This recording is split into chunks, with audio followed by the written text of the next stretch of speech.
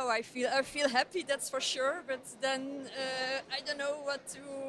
I'm yeah super happy. It's an appreciation for all what we tried to to do. Uh, we constantly try to to to make uh, something uh, out of projects, and, and I think that's uh, it's an honor to to to.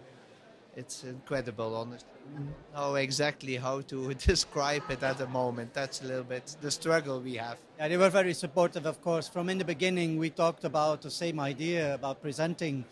And um, I do think what we share with the Freespace team and uh, Freespace team, I mean, with all the people, is the eagerness uh, to bring things forwards, to be concentrated on, to be going on with it. And I think it's the pleasure and the eagerness and the concentration that might be one of the reasons why we are now with a kind of silver lion in our hands. And uh, we appreciate that very much because it's nice to get once in a while this huge support like from these organizations.